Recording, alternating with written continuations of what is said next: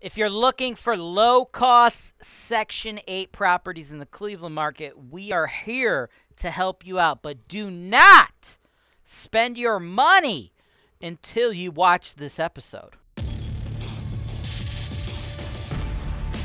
This is your show. This is the show where I work for you directly, taking your needs.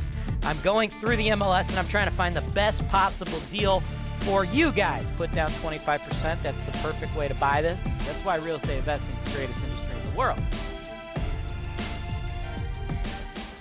Welcome to another episode of the MLS Search Analysis Show. I'm James Wise. I'll be your host. Today, I'm working with my man Shazam. He is an investor from Maryland and he is looking to spend some money on some Section 8 rental properties here in the Cleveland market. Now, as I understand it, brother, you are priced out of your current market. You would like to have your money go further, right? You want to get your money to go as far as you possibly can. So you've targeted some very low cost properties in the Cleveland market that you think would work well for Section 8. As a matter of fact, you sent me a property that is priced at $29,900.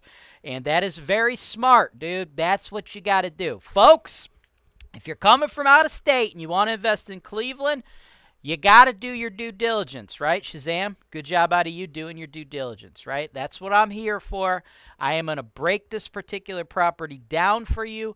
I'm going to let you know my thoughts on it exactly. You would never, folks, never, at least you should never, buy a property without an inspection, right? But that looks inside the four walls. I am going to look outside the four walls to make sure all other things notwithstanding, this investment property is going to accomplish your goals. So let's jump right into the numbers after this quick break.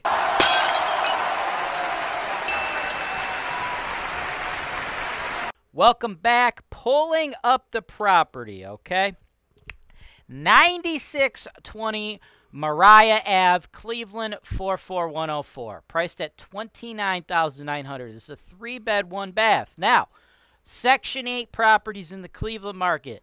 I can see why you're interested in this. I can see why you sent this over. Very common for you to get about a $1,000 a month in rent for a 29 or a $1,000 a month in rent out of a 3-bedroom house. And if you could pick up said house for 29,000, dude, that's a great deal. Now, as far as repairs go, you know, it's dated, but it doesn't look like destroyed or anything of that nature, okay? It looks like we could probably do like a solid fifteen, twenty thousand dollar cosmetic renovation and get this thing rent ready, section 8 ready to rock, right? Like 15, 20k, repaint everything, refinish these hardwoods, you know, patch minor holes, and you could update the kitchen and the bath, right? Let me go back to that ba- kitchen yeah, like this, you know, crazy blue tile, it's not going to cut it, right? You can do new Home Depot Lowe's quality cabinetry, make it look good. About 15, 20K, right?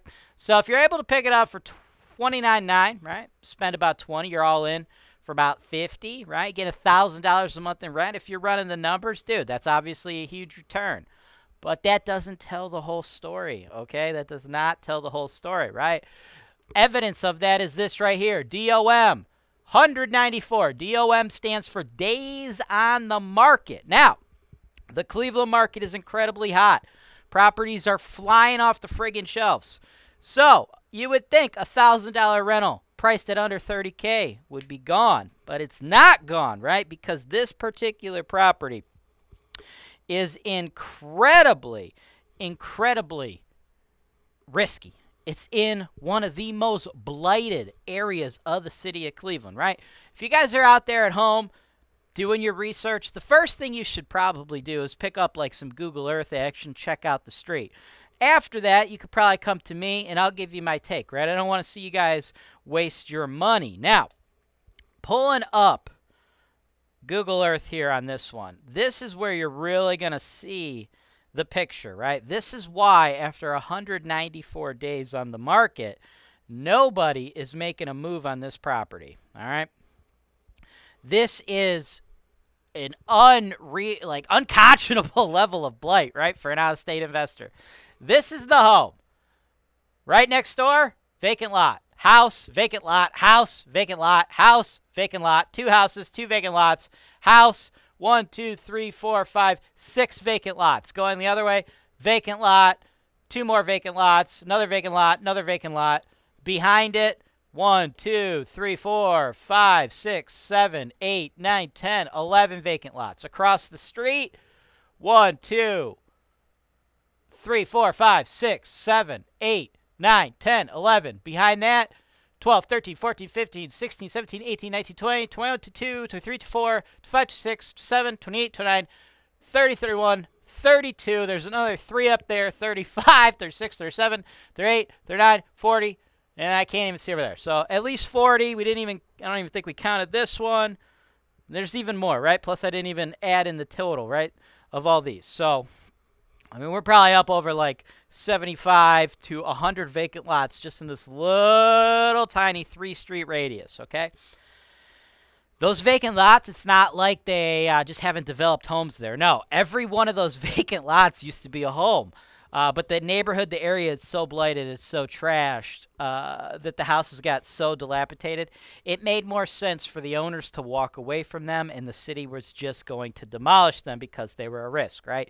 It's where junkies go, they live, they shoot up drugs, people kill people in these homes, dead bodies get hit in there. You know, it's all kinds of horribleness, right? This is literally one of the most dangerous neighborhoods in the United States of America. So, if you're thinking about buying a property out of state, and it's this risky, right? When I, if you watch my show, when you guys go into the riskier levels of neighborhoods that there are, I tell you Section 8 is great because it eliminates the biggest risk, which is your tenants not paying rent. It's like the cheat code, right? But there comes a point where it's just too much for an out of state investor. This neighborhood, too freaking much, dude. Because the issue you're really going to run into, sure, Section 8 makes sense, but like what kind of reasonable people can you get to live on a street where almost half of the lots have been torn down, right? That's one issue. The second issue is your property management. If you're out of state, you need to hire property management. Well, the big reputable companies like Holton Wise or other companies, we don't do property management, maintenance, and construction in neighborhoods like this. It's just too horrendous, okay? When I send my staff to a street like this, right? My leasing staff, I got guys afraid they're going to get robbed while they're there. When it comes to renovating a house, like I got my team worried that they leave their truck on the street and it's going to get broken into, right? It's just a dangerous neighborhood. So, for me as a business owner, I can't reasonably staff my company in a way that I have a reasonable amount of employee turnover if I'm sending them to neighborhoods like this where the employees aren't comfortable, right? Where they're scared. Now, if you guys watch our Tenants from Hell video, look at this. Look at all these friggin' empty lots, man. This is just insane. Like, if you guys watch, there's a house, a couple more, right? Like, it's just everywhere, right? There's so much blight. If you watch the Tenants from Hell show on Holton Wise TV, because we're all about bringing you guys transparency, you'll see a lot of my guys – they're armed, right? They're carrying guns. But those are not neighborhoods that are this bad. So it's not like they're prissy and they're they're afraid of a little hard work. No, no, no. We we deal with some rough stuff, but there comes a point where the risk just ain't worth the reward. And the risk investing here as an out-of-state investor, my opinion, just not worth the reward. If you were an investor that was local to Cleveland and you knew about the business and you had uh, a business model predicated on this type of stuff, you could make some money because the price to rent ratios would be ridiculous. But as far as me being able to give you a projection based on how much money I think you'll you'll earn based on the rents and the anticipated costs, I can't give you one. I I, I have no idea because you're out of state. You're dealing with a very unpredictable tenant base in a very unpredictable neighborhood.